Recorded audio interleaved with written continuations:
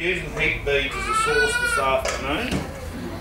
We had gas this morning, we've got coals at lunchtime, and we're using the beads this afternoon. Who's playing with beads? Stephen is. You're playing with beads too. What was your name, sweetheart? Lady Renard. so you're enjoying the beads, Lady Renard?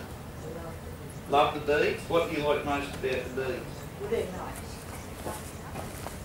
They're, They're light they're light. to carry. Absolutely. Four kilos to a bag, yes? I have got wood in mine. Yep. That's incorrect. Yes, all right. I'll find out. You know what I like the most about the beads? I've got two to two and a half hours of consistent heat, which makes it very, very, which makes them very good if you're learning about heat control in the camper. Yeah? Now, people often ask me, first question, how the hell do I light it? A lot of people have trouble lighting beads. Now, there's two types of beads. There's your regular beads, like the ones I'm using here today.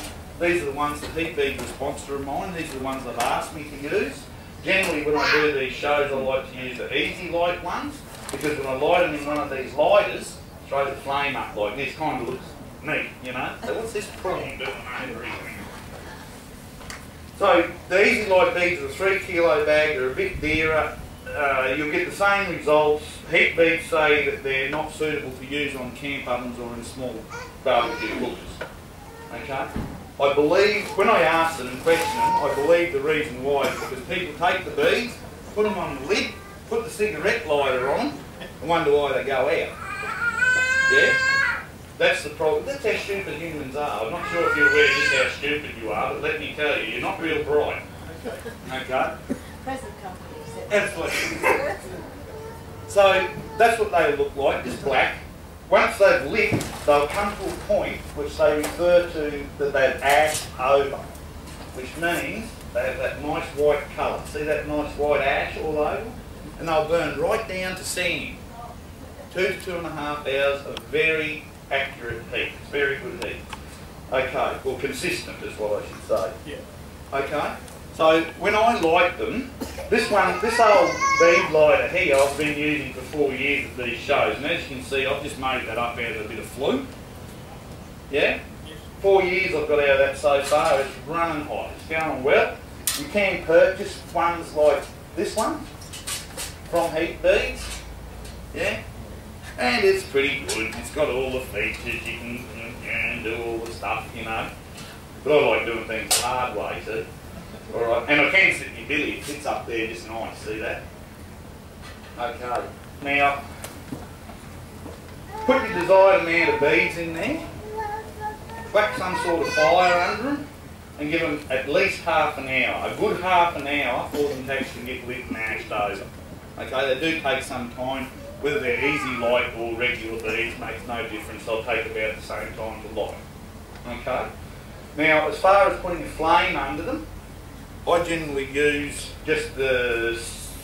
Uh, well, I like. I prefer to use the natural fibre fire starter. Yeah, so it's a fibre, something like that. No, it must be coconut husk or something. Yeah. So I'll leave them there if you want a better look at them. The chemical ones I find quite hard on my throat. They make my throat sore. I don't like the smell of them. These ones I use indoors. Okay. And with the easy light beads, you get little to no fumes at all. So you can pull the roller door down, get out the scotch bottle, start throwing at the dartboard, and you put dinner down the shed. Beautiful in the middle of winter. There's a heat source, probably two or three of those I've used to get this to get this pile going. There's probably up to about 25 in there. We only really need about 10 or 12 to do these dishes. Okay. Now,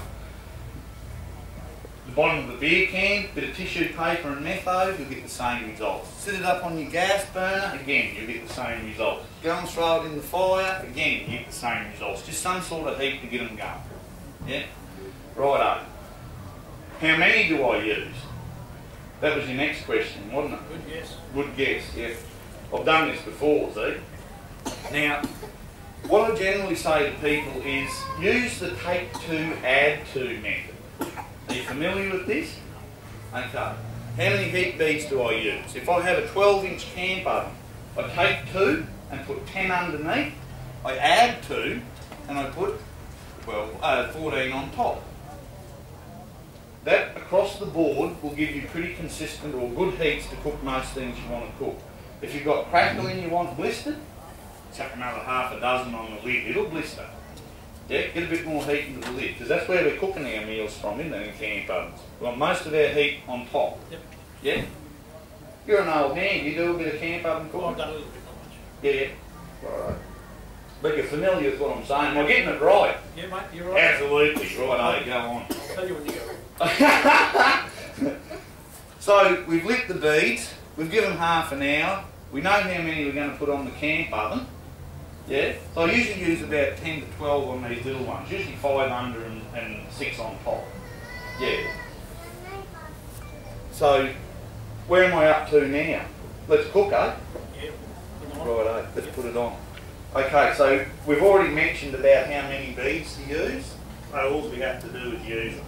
Now, these, these um, plough discs are here more for my convenience, so they're up off the ground.